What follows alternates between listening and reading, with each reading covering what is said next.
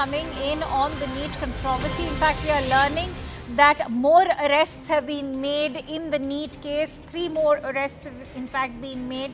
Uh, to be precise, Jitendra Sharma and Kumar Mangalam Bishnoi from Bharatpur Medical College have been arrested for being the solver in the NEET case is what we are learning. Remember, uh, arrests have been made earlier as well. The CBI had also arrested four MBBS students of AIIMS Patna earlier and now in fact we are learning that three more arrests have been made as we speak. Uh, these arrests have, in fact, uh, two of them have been made in the Bharatpur Medical College. Uh, they have been arrested for being the solver in the NEET case as at the same time we are also learning that an arrest has been made uh, in the NEET controversy from Jamshedpur as well. Let's quickly go across to Arunima who's joining me on the phone line. Arunima, if you could uh, furnish us with more details of these arrests that have been made.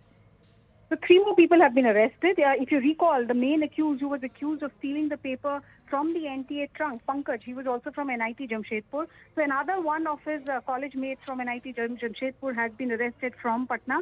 Uh, S. Paswan is believed to be one of the kingpins uh, who arranged this uh, entire controversy, entire conspiracy was he was part of. And then two more medical students, uh, these ones from uh, Rajasthan, from Bharatpur Medical College, uh, have been picked up, second year medical students. So with this, we are seeing at least three medical colleges in the ambit of probe. AIIMS Patna, RIMS, which is the Ranchi Institute of Medical Sciences, and now the Bharatpur Medical College. Essentially, these are all medical students who had cracked the exam last time around, and therefore this time they were picked up by the conspirators as problem solvers. Uh, once the question paper was stolen, these people were given the paper to solve, and then the answers were to be provided to the aspirants who had paid up to 35 lakh rupees for the uh, question papers and the answers. All right. Many thanks to you, Arunima, for bringing in all that information on this breaking input.